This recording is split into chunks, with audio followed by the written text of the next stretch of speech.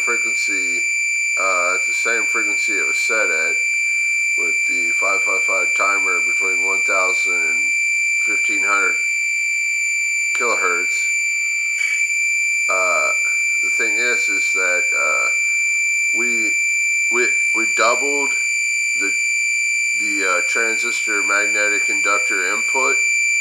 We amplified it twice. So now it's much more powerful on a 9 volt battery running the entire system. And we disconnected the microphone so we could get a clear depiction of magnetic field. Um, and now it is mixing. It seems to be mixing more properly.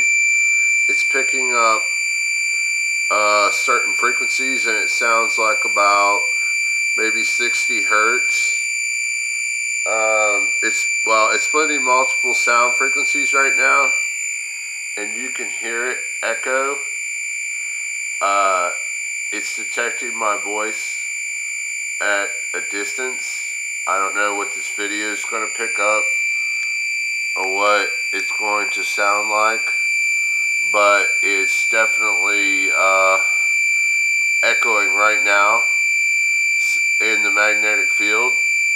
So that is absolute proof that psychicness is real.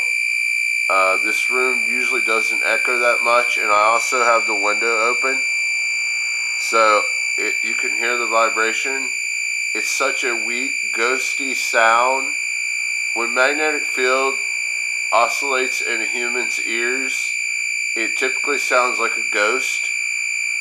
And uh, people can communicate just as well as I'm speaking with the same amount of electricity with their mind that travels the magnetic field uh, around Earth and can be heard by the human ear or the hearing circuits or even your brain.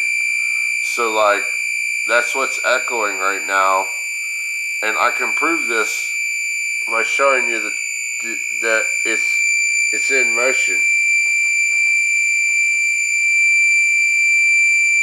You can hear it waving. It's waving the magnetic field.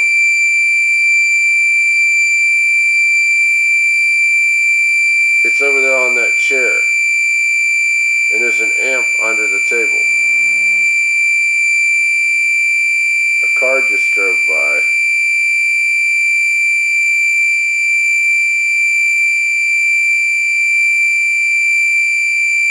You can hear the wave of the sound that's coming out of the amplifier.